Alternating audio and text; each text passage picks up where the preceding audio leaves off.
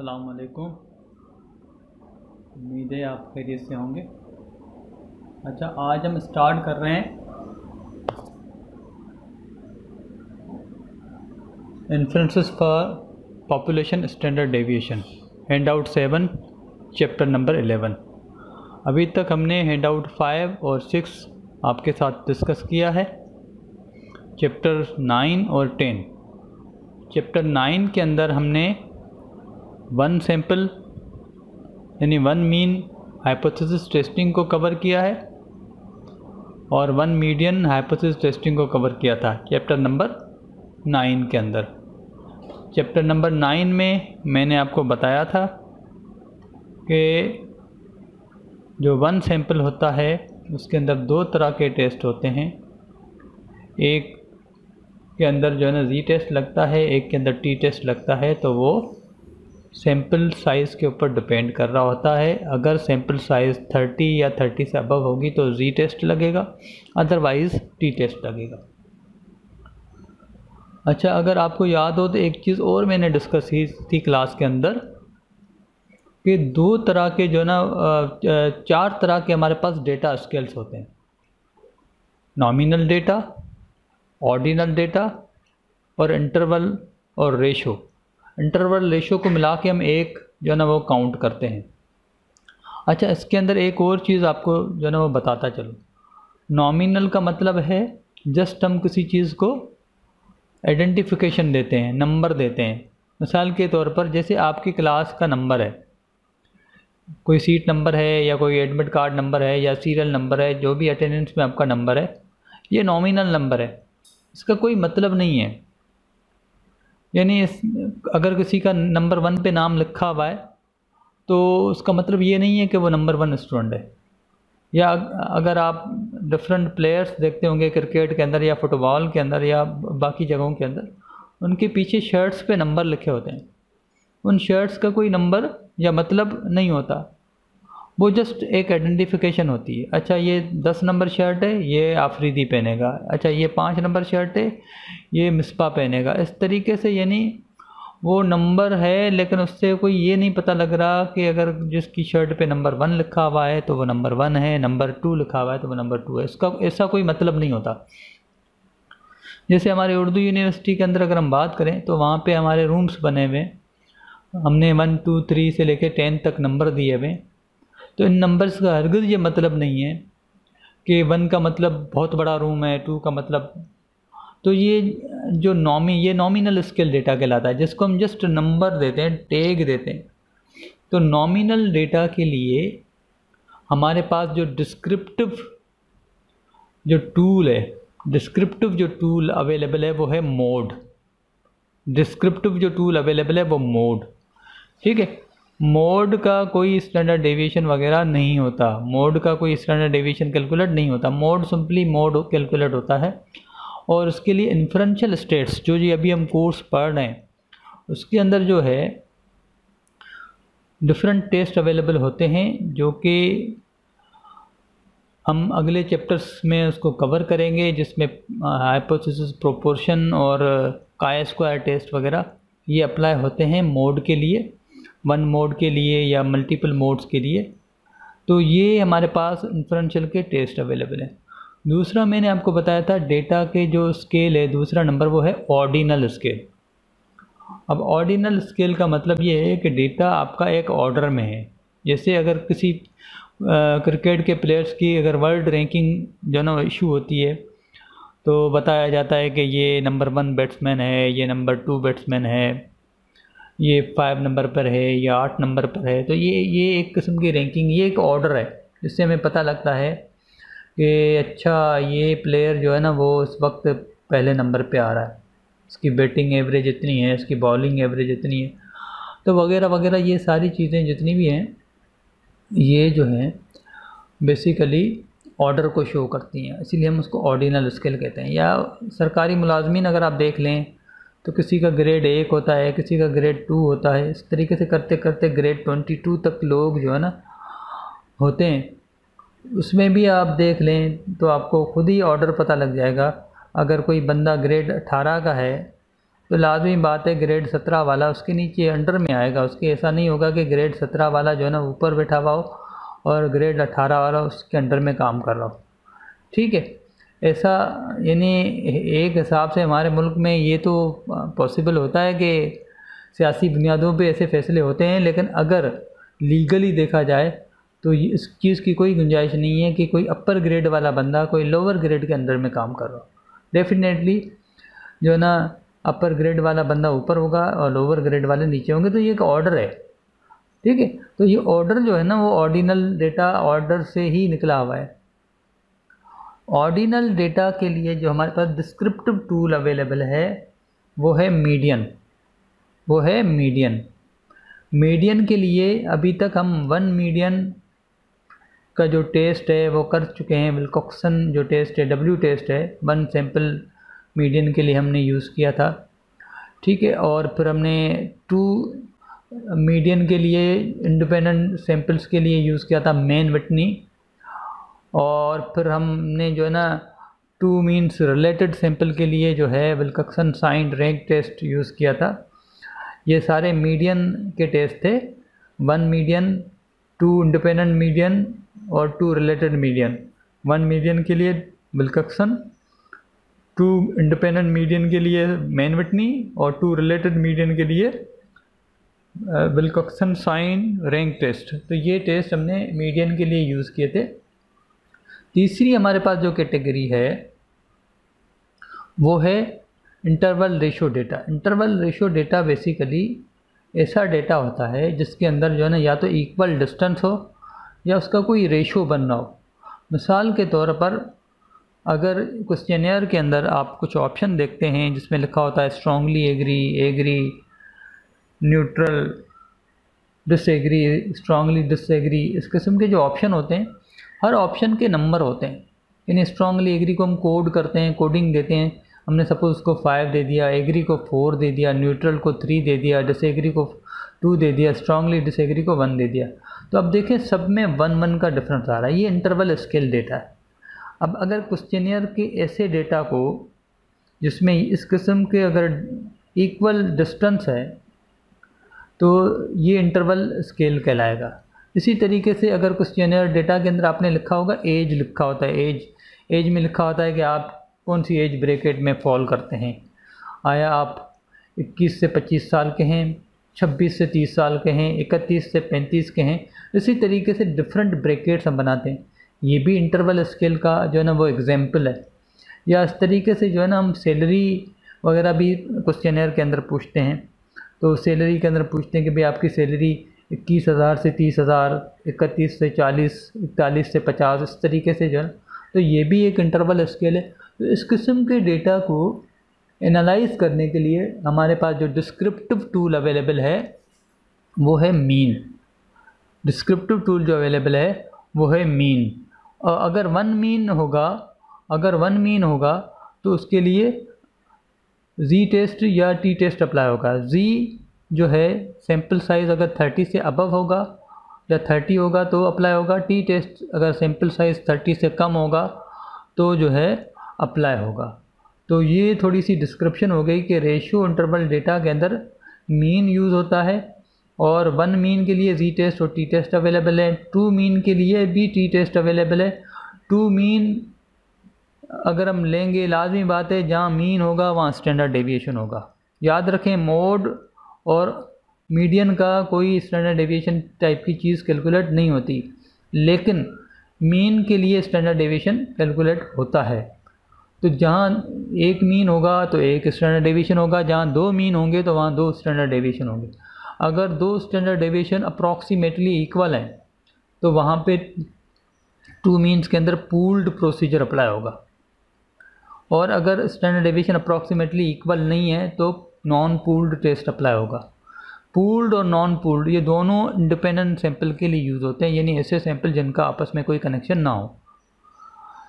और two related sample के लिए पियर्ड टी टेस्ट अप्लाई होता है। पियर टी टेस्ट वहाँ अप्लाई होगा जहाँ पे रिलेटेड सैंपल हों। रिलेटेड सैंपल का मतलब ऐसा सैंपल जिसका आपस में कनेक्शन हो। यानी अक्सर हम प्री और पोस्ट कोई प्रोसीजर अप्लाई करते हैं तो उसमें हमारा जो सब्जेक्ट होता है वो एक ही बंदा होता है तो हम सिर्फ़ प्री और पोस्ट के रिज़ल्ट को देख रहे होते हैं। तो इस किस्म के टेस्ट के अंदर जो है, अगर दो सैंपल हैं तो पी आर टी टेस्ट जो है ना वो अप्लाई होगा। तो ये थोड़ा सी डिस्क्रिप्शन हो गई। अब एक चीज़ और यहाँ पे नोट करते चलें। जिसका सिर्फ़ मोड कैलकुलेट होता है, उसकी और कोई चीज़ कैलकुलेट नहीं हो सकती। मोड कैलकुलेट होगा तो सिंपल मोड कैलकुलेट होगा। जिस चीज़ का मीडियन कैलकुलेट हो सकता है, याद रखें, जिसका मीडियन कैलकुलेट हो सकता है तो उसका मोड भी कैलकुलेट हो सकता है। यानी जिस चीज़ का मीडियन कैलकुलेट हो सकता है, उसका मोड भी कैलकुलेट हो सकता है। और जिस चीज़ का मीन कैलकुलेट हो सकता है, उस चीज़ का मीडियन भी कैलकुलेट हो सकता है, उस चीज़ का मोड भी कैलकुलेट हो सकता है। ठीक है? तो एक दूसरी चीज़ ये याद रखें कि मीडियन और मोड के लिए जो इन्फ्रेंशियल स्टेट्स के अंदर जो हमने टूल पढ़े हैं, या पढ़ेंगे, जैसे मैंने मोड के लिए कहा था काय स्क्वायर अप्लाई होगा, या प्रोपोर्शन टेस्ट अप्लाई होगा, या फिर मैंने कहा बिलकक्सन हमने अप्लाई किया है, या फिर जो है हम कहते हैं कि भाई मेन वटनी अप्लाई होगा। तो ये जितने भी टेस्ट आप देख रहे हैं, ये नॉन पैरामेट्रिक टेस्ट कहलाते हैं। ये नॉन पैरामेट्रिक टेस्ट कहलाते हैं। जबकि मीन के लिए जैसे हमने जी टेस्ट अप्लाई किया है टी टेस्ट अप्लाई किया है। आगे भी जो ना, यही चीज़ें रिपीट होंगी जी टेस्ट और टी टेस्ट तो ये पैरामेट्रिक टेस्ट कहलाते हैं, ये पैरामेट्रिक टेस्ट कहलाते हैं। अब यहाँ पे एक चीज़ की वजाहत करता चलूँ कि अगर आपने मीन के ऊपर, अगर आपने मीन के ऊपर कोई नॉन पैरामेट्रिक टेस्ट अप्लाई कर दिया, यानी मिसाल के तौर पर डेटा मीन है लेकिन आपने विलकक्सन टेस्ट अप्लाई कर दिया उसके ऊपर, या मेन विटनी अप्लाई कर दिया। ठीक है, मीन डेटा के ऊपर।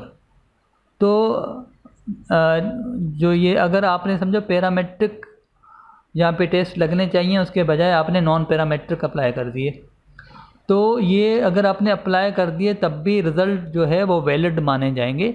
यानी उसमें कोई इशू नहीं है कि पैरामेट्रिक टेस्ट अप्लाई होना था, आपने नॉन पैरामेट्रिक अप्लाई कर दिया तो उसके रिज़ल्ट्स जो है ना, वो गलत नहीं होंगे, वो रिज़ल्ट्स बिल्कुल एक्यूरेट होंगे, उसको हम वैलिड मानेंगे। लेकिन अगर किसी चीज़ के ऊपर नॉन पैरामेट्रिक प्रोसीजर अप्लाई होना था और आपने गलती से पैरामेट्रिक अप्लाई कर दिया तो वो रिज़ल्ट्स जो है, वो नल एंड वाइड हो जाएँगे।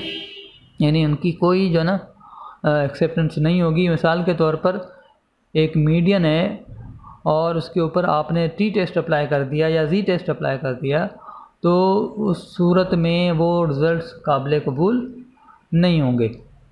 ठीक है?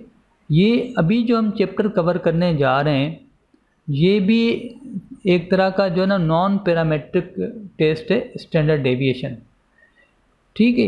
ये एक हमारी अलग कैटेगरी है, जिसको जो है, हम स्टैंडर्ड डेविएशन कहते हैं, जैसे मीन मीन का मीन टेस्टिंग करेंगे तो मीन टेस्टिंग जो है, वो हमारी पैरामेट्रिक टेस्ट है, जबकि जो स्टैंडर्ड एविएशन की अगर हम टेस्टिंग करेंगे, अलग से स्टैंडर्ड सिर्फ़ स्टैंडर्ड एविएशन अगर हम टेस्ट करेंगे तो ये नॉन पैरामेट्रिक टेस्ट कराएगा। तो इसके अंदर भी नॉन पैरामेट्रिक के टूल अवेलेबल होंगे। ठीक है तो स्टैंडर्ड एविएशन जो है वो डिफरेंट कैटेगरीज में फॉल कर सकता है, ठीक है? ऑर्डिनल डेटा का हिस्सा भी बन सकता है नॉमिनल का भी बन सकता है, वो डिपेंड करता है। तो अभी हम इसको डिस्कस करते हैं, लेकिन ये पैरामेट्रिक टेस्ट नहीं है और इंटरवल रेशियो स्केल का पार्ट नहीं है। तो हम आगे बढ़ते हैं। चैप्टर नंबर सेवन को डिस्कस करते हैं। चैप्टर नंबर सेवन में जो पहला पार्ट है, वो ये है कि हमें जो है टेबल से वैल्यू फाइंड करनी है। अब यहाँ पे एक चीज़ और क्लियर करता चलूँ। जब हमारे पास वन स्टैंडर्ड एविएशन की टेस्टिंग होती है, देखिए हम one mean, one median, two mean, two median की टेस्टिंग कर चुके हैं। इस चैप्टर के अंदर हम वन स्टैंडर्ड डेविएशन और टू स्टैंडर्ड डेविएशन की टेस्टिंग करेंगे। ठीक है, हर टेस्टिंग के अलग अलग प्रोसीजर या अलग अलग टेबल अवेलेबल है।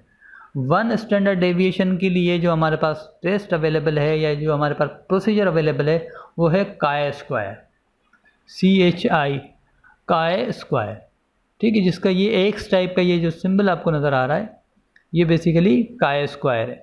ये काय स्क्वायर का सिंबल है जो आपको नज़र आ रहा है।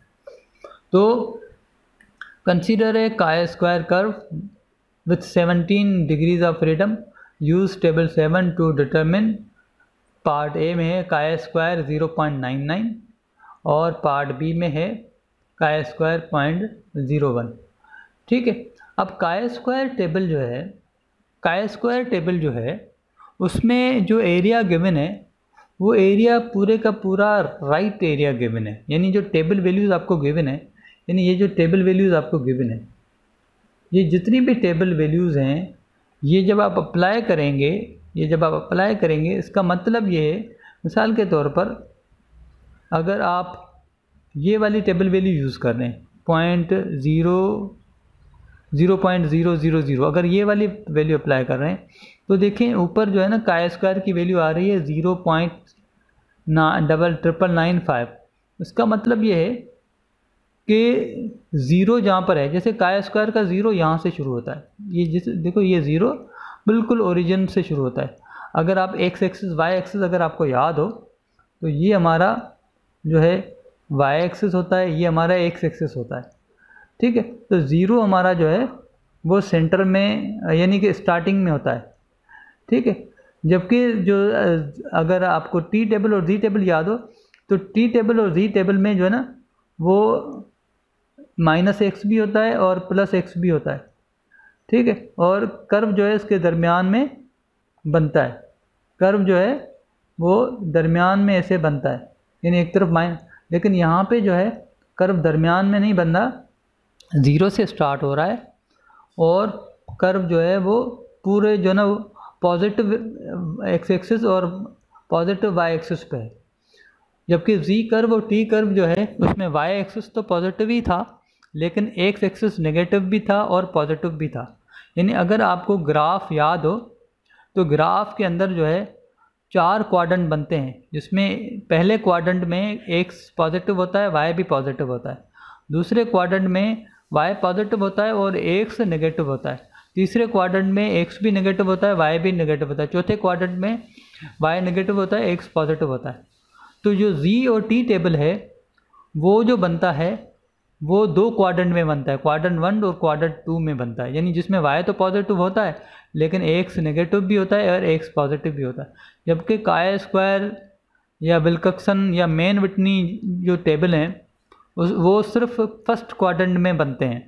यानी वो ज़ीरो से शुरू होते हैं और फिर पॉजिटिव ही होते हैं, उसमें कोई नेगेटिव वैल्यू नहीं होती। तो सपोज़ ये ज़ीरो की जो बात हो रही है, ये ज़ीरो जो है, इसका मतलब ये है कि ये ज़ीरो बेसिकली ये टेबल ये टेबल की वैल्यू है, ये ज़ीरो ये ज़ीरो टेबल की वैल्यू है, ये वाली। अब ज़ीरो अगर टेबल की वैल्यू इसका मतलब ज़ीरो से इस तरफ़ जो एरिया है, वो ninety nine point nine five percent तकरीबन हंड्रेड परसेंट के करीब हो गया। ठीक है थोड़ा सा मार्जिन है इसके अंदर, लेकिन ये एरिया तकरीबन हंड्रेड परसेंट के करीब हो गया कि जहाँ ज़ीरो टेबल वैल्यू होगी, उसके राइट पे ज़ीरो जो होगी, ज़ीरो के, यानी ज़ीरो, यानी यहाँ पर जो टेबल वैल्यू गिवन है, उसका मतलब जो भी टेबल वैल्यू है, उसके ऊपर जो ये काय स्क्वायर लिखा हुआ है, उसका मतलब काय स्क्वायर टेबल में जो इस वैल्यू के राइट पे जो है ना इतना एरिया है। तो ज़ीरो से राइट पे जितना भी एरिया है, वो 99.5 परसेंट है। अब हमें कहा गया है chi square zero point nine nine इसका मतलब ये है कि हमें ऐसी टेबल वैल्यू फाइंड करनी है जिसके राइट साइड पे 99 परसेंट एरिया हो। याद रखें काय स्क्वायर का टेबल जो आपको गिवन है तो उसके अंदर जो है, वो सिर्फ़ एक पार्ट गिवन है। ये वाला ये वाला पार्ट आपको गिवन है। ये जो मेरे राइट साइड पे नज़र आ रहा है, जो एरो आपको नज़र आ रहा है, ये वाला पार्ट आपको जो टेबल्स में गिवन है। लेकिन उसके अलावा मैंने आपको डिटेल टेबल प्रोवाइड की है। डिटेल टेबल में आपको ये वाला भी नज़र आएगा और ये वाला भी पार्ट आपको नज़र आएगा। तो हम आगे बढ़ते हैं। डिग्री ऑफ़ फ्रीडम हमारा सेवनटीन है, टेबल हमारा सेवन है। टेबल नंबर भी अगर आप देख लें तो यहाँ पर डिटेल टेबल है, लेकिन अगर आप वो हमारे नॉर्मल जो डे, जो टेबल आपको गिवन है, उसमें देखिएगा काय स्क्वायर का टेबल नंबर सेवन है। तो हमने देखा कि 0.99 जो है ना, राइट पे एरिया हो 0.99 हमने ये किया सेवनटीन जो है वो हमारा डिग्री ऑफ़ फ्रीडम है। सेवनटीन के सामने हमें चले गए। उसके सामने हमने देख, देखा कि six point four zero eight six point four zero eight देखें, ये मैंने लिखा है। अब इसका मतलब ये है, ये six point four zero eight ये जो लिखा हुआ है, इसके ये वाला जो एरिया है, ये वाला जो एरिया है वो नाइन्टी नाइन परसेंट है। इसका मतलब ये वाला जो एरिया है ये मैंने लिखा हुआ है नाइन्टी नाइन और ये वाला जो एरिया है, ये वन परसेंट है। ये वाला एरिया जो है, ये वन परसेंट है। तो ये हो गया नाइन्टी नाइन परसेंट एरिया अब दूसरा प्रमेय कहा गया है कि पॉइंट ज़ीरो वन यानी one percent area right side पर अब अगर आपको बड़ा एरिया फाइंड करना हो तो टेबल के इस हिस्से में आप आएँगे और छोटा एरिया फाइंड करना हो तो टेबल के इस हिस्से में आप फाइंड करेंगे। तो बड़े एरिया यानी काय स्क्वायर पूरा टेबल जो है, वो जो भी वैल्यू आप लेंगे उसका मतलब वो राइट की वैल्यू सजेस्ट कर रहा है। जैसे हमने six point four eight zero eight लिया तो इसका मतलब ये है कि ये पूरा राइट का एरिया 99 परसेंट है। अब हमें वन परसेंट राइट एरिया चाहिए। वन परसेंट राइट एरिया चाहिए तो हम पॉइंट ज़ीरो वन के कॉलम में चले गए। डिग्री ऑफ़ फ्रीडम वही सेवनटीन है तो हमारे पास वैल्यू आ गई thirty three point four zero nine thirty three point four zero nine देखे मैंने ये लिखा है। वन परसेंट हमारे पास जो है, वो ये एरिया आ रहा है। इसका मतलब इसके लेफ़्ट साइड पे नाइन्टी नाइन परसेंट एरिया रह गया होगा। लाजमी बात है कि मैंने वन परसेंट राइट पे एरिया हो, उसकी टेबल वैल्यू फाइंड की है तो वन परसेंट राइट की एरिया वाली वैल्यू अगर ये है तो इसका मतलब उसके लेफ़्ट पे 99 परसेंट एरिया होगा। तो ये थोड़ा सा काया स्क्वायर की डिस्क्रिप्शन है। एक चीज़ और भी आप समझ सकते हैं कि एक चीज़ जब ज़ीरो से शुरू हो रही है, देखें यहाँ से अगर ज़ीरो से शुरू हो रही है तो ज़ीरो के बाद वन आएगा, फिर टू आएगा, फिर थ्री आएगा। तो लाजमी बात है six point four zero eight जो होगा, वो ज़ीरो के करीब होगा। और यहाँ thirty three point four zero nine तो होगा तो वो ज़ीरो से लाजमी दूर होगा। तो ये चीज़ भी आप समझ सकते हैं। अब ये पार्ट क्वेश्चन नंबर वन का पार्ट ए और बी हो गया। अब आ जाएँ पार्ट सी के ऊपर। सी और डी के ऊपर। अब हमें कहा गया consider a chi square with seventeen degree of वही सेवनटीन डिग्रीज ऑफ़ फ्रीडम है। The chi square having area point zero five to is left five percent area to it is left यानी इसका मतलब ये है कि 95 परसेंट एरिया जो है ना वो राइट पे हो। अगर हम चाहते हैं कि लेफ़्ट साइड पे फाइव परसेंट एरिया हो तो अंडरस्टूड है कि 95 परसेंट एरिया जो है वो राइट पे होगा। और काय स्क्वायर की जो पूरा टेबल है, वो सिर्फ़ राइट का एरिया शो करता है। तो हम क्या करेंगे?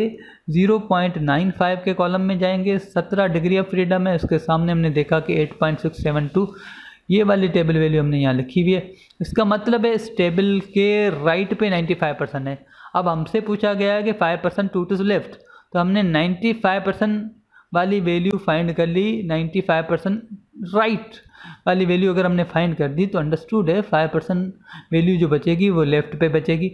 तो अगर काय स्क्वायर में मैं आपको कहा जाए कि five percent to is left या one percent to is left तो आप टेबल में नाइन्टी फाइव परसेंट या 99 परसेंट वैल्यू फाइंड करेंगे, क्योंकि काय स्क्वायर में जो आपको एरिया गिवन है, वो राइट right साइड का एरिया की टेबल वैल्यूज़ गिवन है।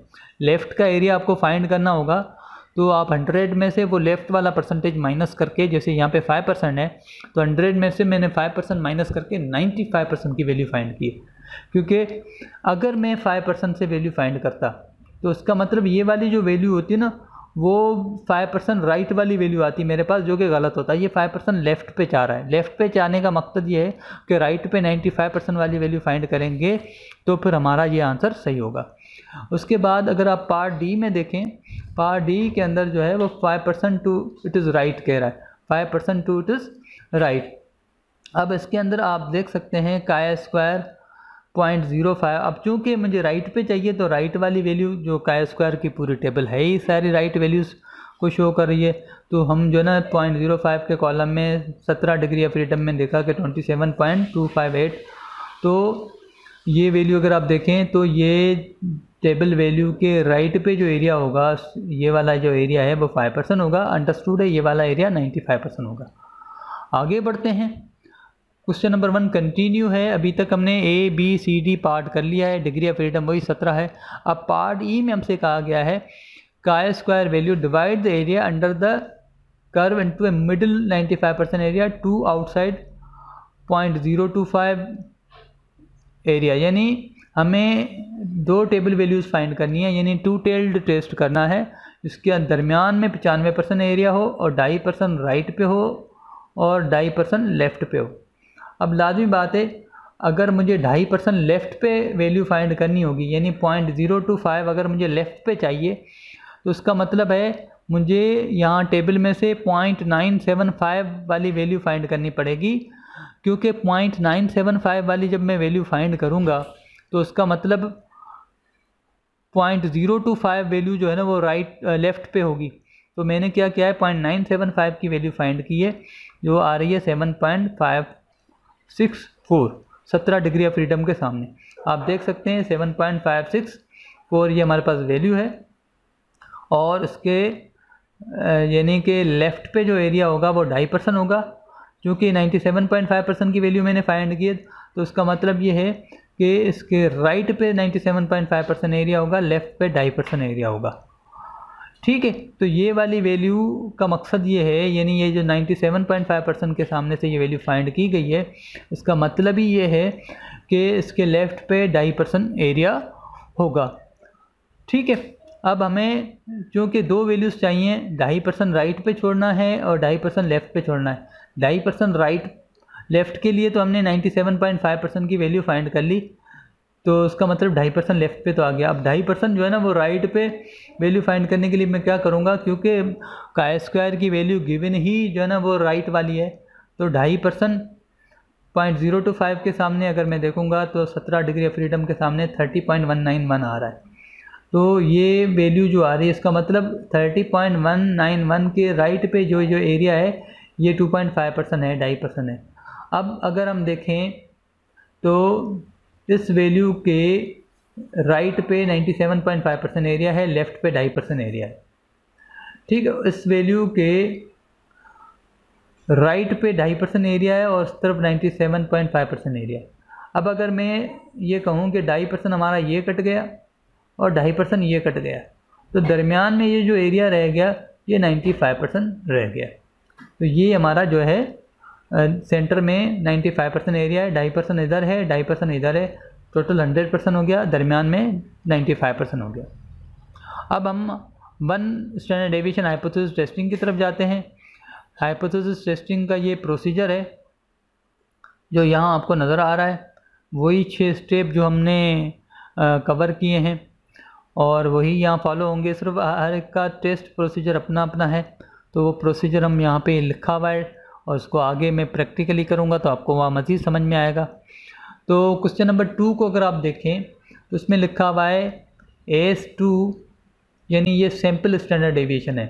इक्वल टू थ्री और एन इक्वल टू टेन यानी सैंपल साइज़ टेन है और स्टैंडर्ड डेविएशन सैंपल का जो वो थ्री है। और फिर नल हाइपोथेसिस है सिग्मा इक्वल टू फोर ये मेरा नल हाइपोथेसिस है और अल्टरनेट है sigma less than four alpha equal to five percent part A में मुझे हाइपोथेसिस टेस्ट करना है। तो मैं वही छः स्टेप फॉलो करूँगा नल हाइपोथेसिस बना दिया। सिग्मा इक्वल टू फोर यानी standard deviation is equal to four sigma is less than four standard deviation is less than four significance level five percent है, चूँकि ये लेफ़्ट टेल्ड है। लेफ़्ट टेल्ड है one tailed है, लिहाजा इसको हम डिवाइडेड बाय टू नहीं करेंगे। ठीक है? अब ये लेफ़्ट टेल्ड है यानी फाइव परसेंट एरिया लेफ़्ट पे होना चाहिए। तो टेबल से वैल्यू फाइंड करने के लिए जब मुझे याद रखें पिछले आ, सवाल में हमने किया था जब मुझे लेफ़्ट पे कोई एरिया चाहिए सपोज़ फाइव परसेंट चाहिए तो टेबल से मैं ninety five percent value find करूँगा क्योंकि टेबल ये जो बना हुआ है ये सिर्फ़ राइट का एरिया शो करता है। लेफ़्ट का एरिया शो नहीं करता अगर लेफ़्ट वाली एरिया के लिए मुझे कोई भी वैल्यू फाइंड करनी पड़ेगी तो लेफ़्ट का जो भी परसेंटेज होगा, वो हंड्रेड से माइनस करके जो रिमेनिंग होगा, वो टेबल वैल्यू हम फाइंड करेंगे। अब मुझे फाइव परसेंट लेफ़्ट पे चाहिए तो मैं क्या करूँगा हंड्रेड परसेंट में से फाइव परसेंट माइनस कर दूँगा तो नाइन्टी फाइव परसेंट राइट वाली वैल्यू जो है, वो मुझे यहाँ नज़र आ रही है, जो मैं फाइंड करूँगा three point three two five ये जो वैल्यू मुझे नज़र आ रही है। डिग्री ऑफ़ फ्रीडम नाइन है, अगर आप देख लें डिग्री ऑफ़ फ्रीडम नाइन है और ये जो है एन माइनस वन से फाइंड होती है नाइन के सामने और पॉइंट नाइन फाइव के सामने ये थ्री पॉइंट टू फाइव मुझे वैल्यू नज़र आ रही है। आते हैं डिस्कस करते हैं इसको दोबारा से। लेकिन स्टेप थ्री में हम जो है ना, उसका टेस्ट स्टेटिस्टिक प्रोसीजर करते हैं। टेस्ट स्टेटिस्टिक का ये वाला फार्मूला है। N minus one sigma square minus standard deviation square तो ये हमारे पास फार्मूला है। इसको अगर हम देखें एन हमारा टेन है, टेन माइनस वन कर दिया। पॉपुलेशन मीन जो है, ये जो बना हुआ है, ये फ़ोर है फोर स्क्वायर कर दिया। सिंपल मीन ये जो है थ्री इसको थ्री स्क्वायर कर दिया। तो अगर हम सॉल्व करेंगे तो हमारा आंसर आ रहा है five point zero six two five five point zero six two five अब हम टेबल से वैल्यू फाइंड करते हैं। फाइव परसेंट हमारा सिग्निफिकेंस लेवल है। Degree of freedom ten minus one हो गया नाइन और पॉइंट नाइन फाइव के कॉलम में अगर हम देखेंगे तो three point three two five हमारी टेबल वैल्यू आ रही है। अब ये लेफ़्ट हेल्ड है, ये काय स्क्वायर का टेबल है काय स्क्वायर के टेबल में ये ज़ीरो है, ठीक है? अब मुझे फाइव परसेंट लेफ़्ट पे एरिया चाहिए तो लेफ़्ट एरिया के लिए मैंने ये वाली वैल्यू फाइंड किया। इसका मतलब ये है कि three point three two five के लेफ़्ट पे जो ये एरिया ये फाइव परसेंट है, ये जो एरिया नाइन्टी फाइव परसेंट है। अब याद रखें, ये लेफ़्ट हेल्ड है तो लेफ़्ट वैल्यू के लेफ़्ट साइड पे रिजेक्शन रीजन कहलाएगा। ये हम पहले भी कवर कर चुके हैं कि अगर वैल्यू लेफ़्ट होगी लेफ़्ट हेल्ड होगी तो लेफ़्ट टेल्ड जहाँ पे टेबल वैल्यू लिखी होगी टेबल वैल्यू से लेफ़्ट पे जो एरिया होगा वो रिजेक्शन और राइट right का जो पूरा एरिया वो एक्सेप्टेंस कहलाएगा। इसी तरीके से अगर राइट टेल्ड होगा तो राइट साइड वाले टेबल वैल्यू के राइट right साइड पे जो भी एरिया होगा वो रिजेक्शन होगा लेफ़्ट वाला एक्सेप्टेंस रीजन होगा। अगर टू टेल्ड होगा तो लेफ़्ट और राइट जहाँ जहाँ टेबल वैल्यू दोनों लिखी होंगी राइट वाली टेबल वैल्यू के राइट साइड पे और लेफ़्ट वाली के वैल्यू के लेफ़्ट साइड पे रिजेक्शन रीजन होगा और इन दोनों के दरमियान में जो रीजन होगा वो एक्सेप्टेंस रीजन कहलाएगा। तो ये लेफ़्ट है तो लेफ़्ट के लेफ़्ट साइड पे जो एरिया है वो रिजेक्शन है, ये एक्सेप्टेंस है। अब चूँकि ये इसमें नेगेटिव नंबर नहीं होता, अब ज़ीरो अगर यहाँ से शुरू होता है तो अगर हम देखें तो three point three two five हमारा यहाँ आ रहा है। तो थ्री पॉइंट थ्री के बाद फोर उसके बाद आएगा फाइव उसके भी बाद आएगा। तो हम देखें कि हमारी जो टेस्ट स्टेटिस्टिक की वैल्यू है फाइव पॉइंट समथिंग ये जो हमें नज़र आ रही है, ये वैल्यू जो है, ये बेसिकली यहाँ जो एक्सेप्टेंस रीजन में फॉल कर रही है। ये जो वैल्यू है, वो एक्सेप्टेंस रीजन में फॉल कर रही है। तो लिहाजा हमारा नल हाइपोथेसिस जो है, वो रिजेक्ट नहीं हो रहा। तो हम कहेंगे कि standard deviation is equal to four ठीक है? उसके बाद हम कंटिन्यू कर रहे हैं क्वेश्चन नंबर टू को। अभी हमने इसको देखें, ये पार्ट ए किया था हाइपोथेसिस टेस्टिंग अब हमें 90 परसेंट कॉन्फिडेंस इंटरवल भी कैलकुलेट करना है। 90 परसेंट कॉन्फिडेंस इंटरवल कैलकुलेट करने के लिए हम क्या करेंगे? वही डेटा है हमारे पास, वही चीज़ें हैं 90 परसेंट कॉन्फिडेंस इंटरवल हमने फाइंड किया है। याद रखें वन टेल्ड या टू टेल्ड का जो कॉन्सेप्ट है वन टेल्ड या टू टेल्ड का जो कॉन्सेप्ट है, वो सिर्फ़ और सिर्फ़ हाइपोथेसिस टेस्टिंग के अंदर है। वो सिर्फ़ और सिर्फ़ हाइपोथेसिस टेस्टिंग के अंदर है। कॉन्फिडेंस इंटरवल में हमेशा टू टेल्ड होगा। कॉन्फिडेंस इंटरवल में हमेशा टू टेल्ड होगा। एल्फ़ा डिवाइडेड बाय टू होगा। एल्फ़ा डिवाइडेड बाय टू होगा, चाहे कुछ भी हो जाए। तो ये हमारे पास फार्मूला है। ये फार्मूला है। ठीक है? हमारे पास 90 परसेंट कॉन्फिडेंस इंटरवल है, इसका मतलब एल्फ़ा हो गया 10 परसेंट। फार्मूले में है एल्फ़ा डिवाइडेड बाय टू फिर one minus alpha divided by two अब एल्फ़ा हमारे पास टेन परसेंट है। Ten percent divided by two तो क्या हो जाएगा फाइव परसेंट। और one minus ten percent ninety percent divided by two हो जाएगा नाइन्टी फाइव परसेंट। यानी टेन परसेंट को डिवाइडेड बाय टू करेंगे तो फाइव परसेंट होगा वन से माइनस करेंगे तो नाइन्टी फाइव परसेंट आ जाएगा। उसके बाद मल्टीप्लाई बाय एस पी करना है। तो अब हम पहले पॉइंट ज़ीरो फाइव की टेबल वैल्यू और फिर पॉइंट नाइन फाइव की टेबल वैल्यू पहले पॉइंट ज़ीरो फाइव की टेबल वैल्यू देख लें। पॉइंट ज़ीरो फाइव की टेबल वैल्यू है sixteen point nine one nine क्योंकि डिग्री ऑफ़ फ्रीडम हमारा नाइन है। सैंपल साइज़ टेन है। टेन माइनस वन करेंगे तो नाइन आ गया। नाइन हमारा डिग्री ऑफ़ फ्रीडम है। Point zero two five point zero five का कॉलम है। ये sixteen point nine one nine यानी chi square alpha by to या काय स्क्वायर फाइव परसेंट की जो टेबल वैल्यू आई है, वो sixteen point nine one nine आई है, ये वाली वैल्यू उसके बाद ज़ीरो पॉइंट नाइन फाइव की वैल्यू हमने फाइंड की है डिग्री ऑफ़ फ्रीडम वही नाइन है, उसकी वैल्यू आई है three point three two five ठीक है, ये फिर हमने डेटा इंसर्ट किया है रेंज बनी है ज़ीरो पॉइंट सेवन थ्री से लेके 1.65 तक। ये हमारा कॉन्फिडेंस इंटरवल एस्टिमेट हो गया क्वेश्चन नंबर टू उसके बाद question number three four five six seven भी इसी पैटर्न पे होंगे। तो उसको आप क्वेश्चन नंबर टू को देखते हुए आप उसको सॉल्व कर लेंगे। ये वन स्टैंडर्ड डेविएशन के सवाल थे। ये वन स्टैंडर्ड डेविएशन के सवाल थे। ठीक है? अब हम आते हैं टू स्टैंडर्ड डेविएशन की तरफ़। टू स्टैंडर्ड डेविएशन में एफ़ टेबल अप्लाई होगा। टू स्टैंडर्ड डेविएशन में एफ़ टेबल अप्लाई होगा। वन के लिए का स्क्वायर अप्लाई होता है टू स्टैंडर्ड डेविएशन के लिए एफ़ टेस्ट अप्लाई होता है। अब क्योंकि यहाँ पे टू स्टैंडर्ड डेविएशन होते हैं तो एफ़ टेबल को यूज़ करने के लिए डिग्री ऑफ़ फ्रीडम भी डिग्री ऑफ़ फ्रीडम भी दो होंगे डिग्री ऑफ़ फ्रीडम भी दो होंगे।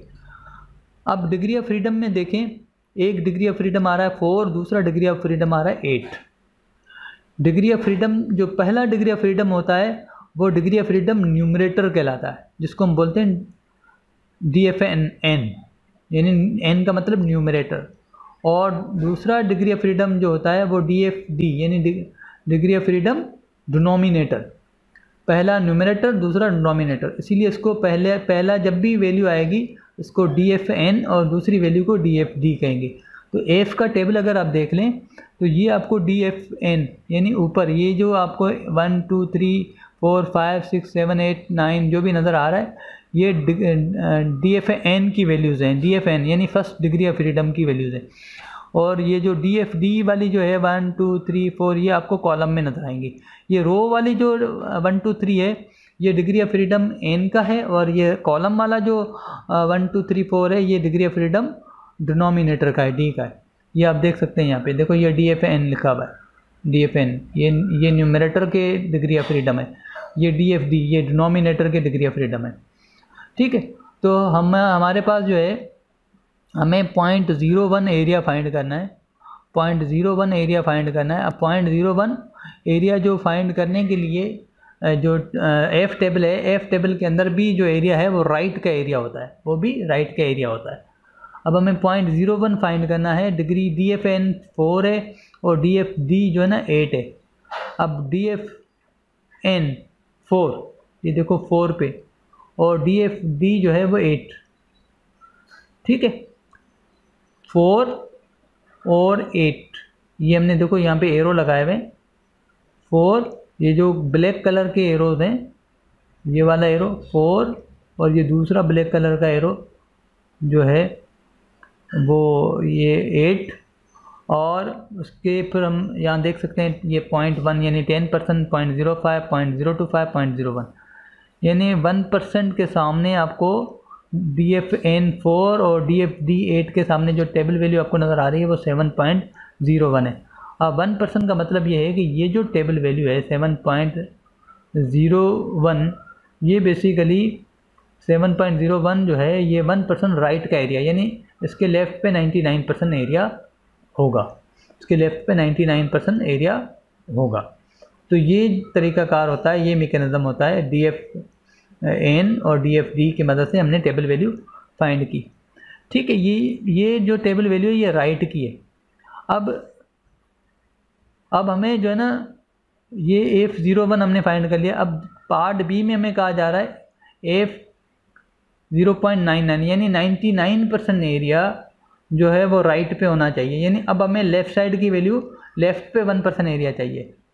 ये एरिया वन परसेंट राइट पे था। याद रखें एफ़ टेबल जो एरिया हमें देता है, वो सिर्फ़ राइट का देता है। लेफ़्ट का नहीं देता।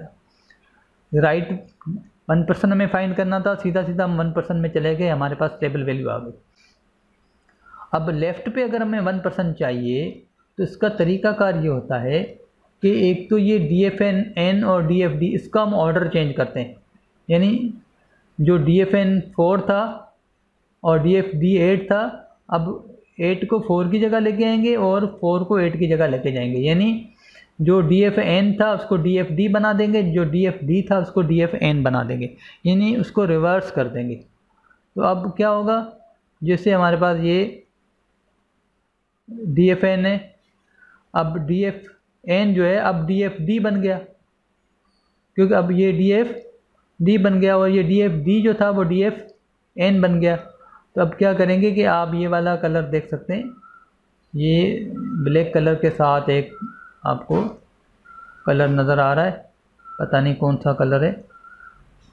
तो तो ये देखें, ये डी एफ़ डी अब ये हालाँकि डी एफ़ एन लिखा हुआ है लेकिन अब आप उसको डी एफ़ डी मानेंगे क्योंकि अब हम जो है ना लेफ़्ट की वैल्यू फाइंड कर रहे हैं तो ये सबसे पहले हम इसको ऑर्डर जो है ना रिवर्स करना पड़ेगा डी एफ़ एन को डी एफ़ डी मानना पड़ेगा तो हमने डी एफ़ एन को डी एफ़ डी माना तो फोर हो गया फोर डी एफ़ डी में हमने ये देखा ये हमारी रो बन रही है और ये जो डी एफ़ डी है ये अब डी एफ़ एन बन गया डी एफ़ एन जो है वो देखें एट अब एट और ये फोर और वन परसेंट के सामने हमने टेबल वैल्यू देखी तो ये हमारे पास टेबल वैल्यू आ रही है फोर्टीन पॉइंट एट ठीक है, यानी अगर आप को लेफ़्ट साइड की वैल्यू फाइंड करनी होगी तो सबसे पहले डी एफ़ डी और डी एफ़ एन दोनों को रिवर्स कर देंगे। डी एफ़ एन को डी एफ़ डी बना लेंगे और डी एफ़ डी को डी एफ़ एन बना के आप को अगर 99 परसेंट की वैल्यू फाइंड करनी है तो सिंपली आपको वन परसेंट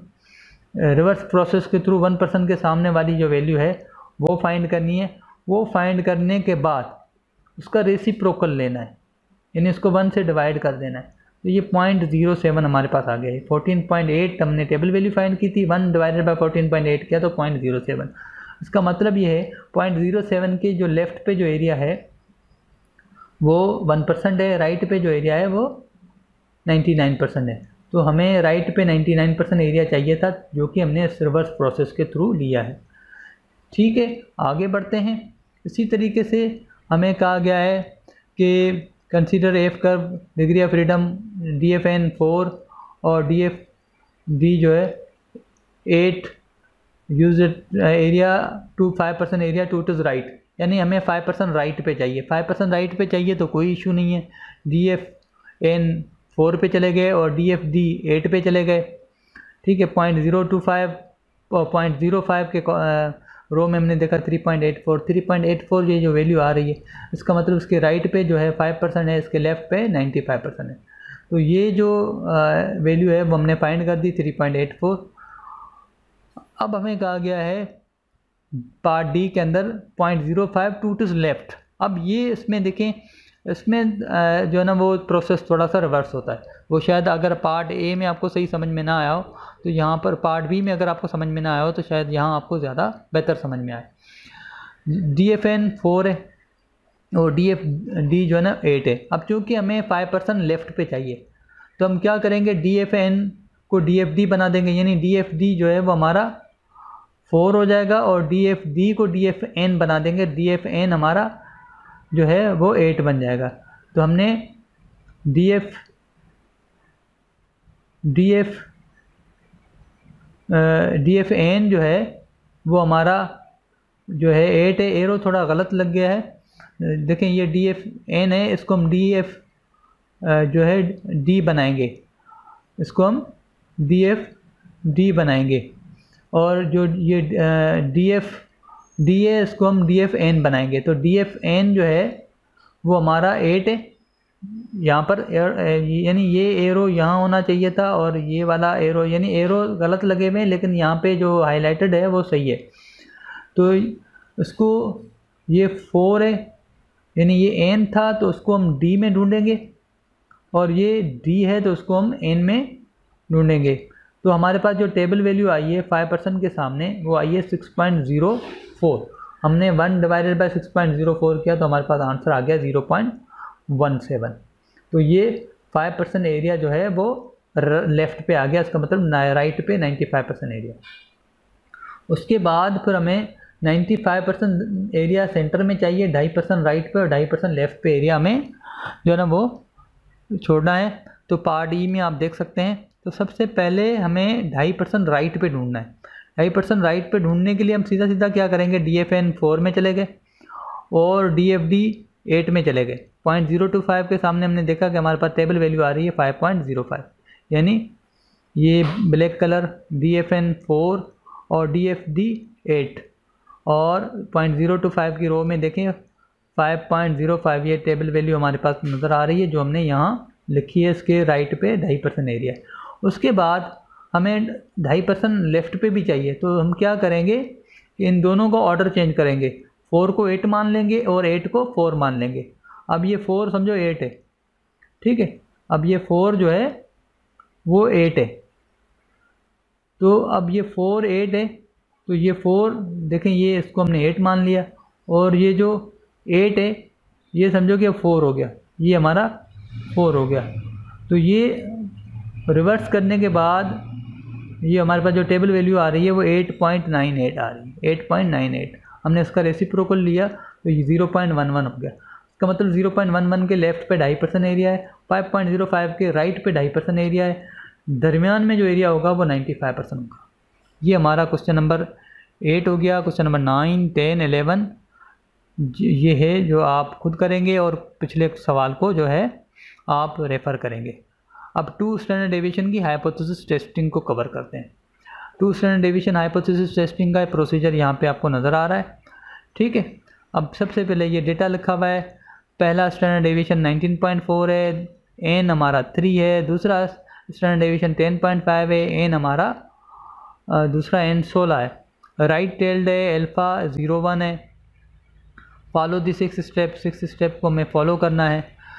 जैसे हमने मीन के अंदर किया था, दो मीन के अंदर, एक मीन होता था तो उसको हम जो है ना, किसी वैल्यू के साथ इक्वल करते थे।